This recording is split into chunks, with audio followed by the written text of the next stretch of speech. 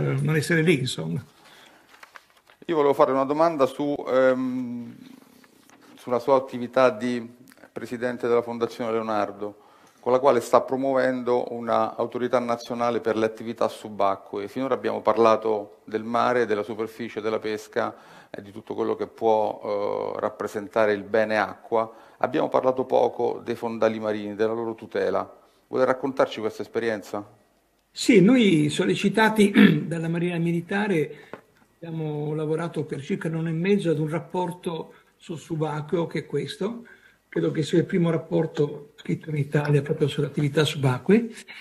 E praticamente abbiamo questa situazione che voi conoscete bene, credo il grande pubblico forse no, noi conosciamo pochissimo i fondali marini, conosciamo meglio Marte di quanto non conosciamo i fondali marini ma i fondali marini sono essenziali perché attraversate dalle reti energetiche, come sappiamo, delle comunicazioni, perché il seabed, il fondale marino, non quello mediterraneo, ma quelli oceanici, sono ricchi di terre rare, di noduli polimetallici.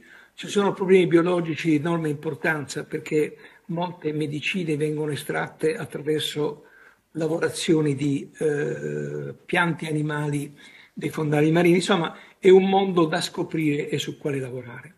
Devo dire, ho ascoltato con molto interesse quello che è stato detto anche dal Presidente Rizzetto e da altri.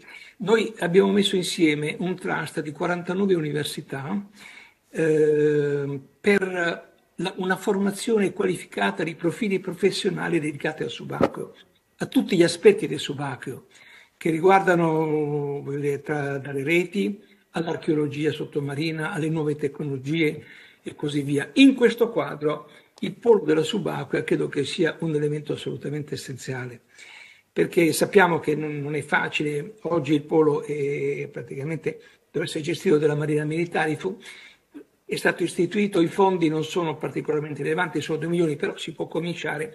Devo dire, se mi è permesso riflettere su un punto, dobbiamo superare dire, alcune contese di competenze. Quello che conta non è chi è competente a far cosa, ma le cose che si fanno e farle nel migliore dei modi possibili. Questo è il punto di fondo, perché altrimenti, come dire, confrontarsi su chi deve fare che cosa vuol dire poi praticamente non far nulla. Questo purtroppo è il problema, è il problema che abbiamo.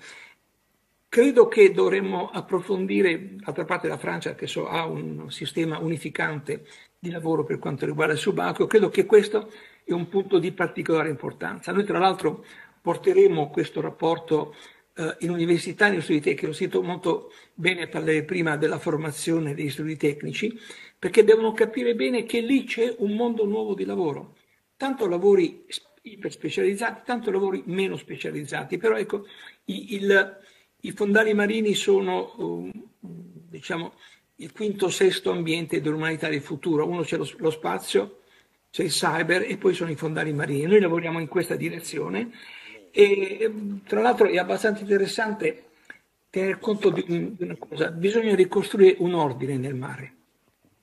Ricostruire un ordine nel mare. Oggi ci sono dieci autorità ministeriali che hanno competenze eh, sul mare, eh, sia sopra, sia subacqueo che il mare di superficie. Poi dove comincia il subacqueo, come sappiamo, c'è tutto quanto una discussione come, dove cominciano i voli suborbitali per quanto riguarda lo spazio. Ma insomma, a parte questo, ci sono troppi soggetti che intervengono. Devo dire che ha fatto un lavoro straordinario il Ministro del Mare nel costituire questo comitato che ha scritto un rapporto veramente di qualità, anche lo studio Ambrosetti ho visto che ha fatto un'integrazione eccellente, di cui mi congratulo davvero, e, e però ecco, bisogna stabilire chi fa le cose. Guardi, una, il policentrismo anarchico non aiuta lo sviluppo del paese. Tanto che ognuno vuole fare un pezzo e vuole fare quel pezzo per sé e non vuole cedere ad altri, vuol dire che quelle cose non si fanno alla fine. Bisogna trovare un modo razionale, io dico non autoritario, ma persuasivo, perché tutti i soggetti che eh, hanno una qualche competenza cerchino un po' di mettersi insieme per realizzare l'obiettivo, non per mantenere un pezzo di competenze. Questo credo che sia. E studiando eh, le questioni dei fondali marini, questo problema è emerso, come è emerso anche per quanto riguarda il, um, il polo di cui ha parlato, il polo nazionale della subacquea. Noi non abbiamo, come è noto, eh, nel Mediterraneo eh, terre rare, noduli polimetallici di qualità. E quindi, però abbiamo bisogno di una forma di regolamento che dobbiamo attuare per poter andare a fare con le nostre tecnologie fuori dai nostri confini quello che altri paesi stanno cercando di cominciare a fare. Questo è un altro dato eh, di, di, particolare, di, particolare, rilevanza. Insomma, eh, bisogna parlare del subacqueo. Eh, con l'università, ripeto, ci stiamo riuscendo, sono 49, sono abbastanza queste università, con i tecnici lo faremo.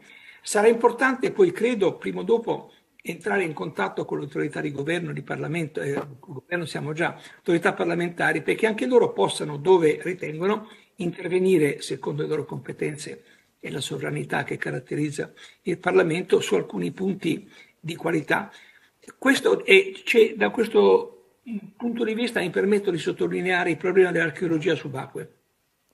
Noi siamo un paese che è detentore di musei archeologici sopra e sotto il livello dell'acqua, devo dire. Tra l'altro in Sicilia si è fatto un grande lavoro da questo punto di vista, ma non solo in Sicilia.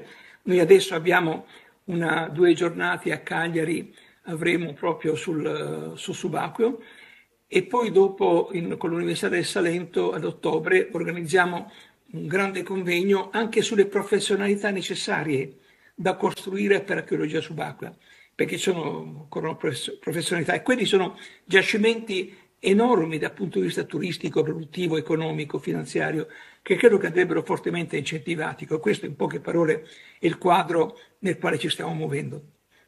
Grazie Presidente, grazie davvero e auguri di pronta guarigione. Grazie a lei e grazie a tutti quanti voi.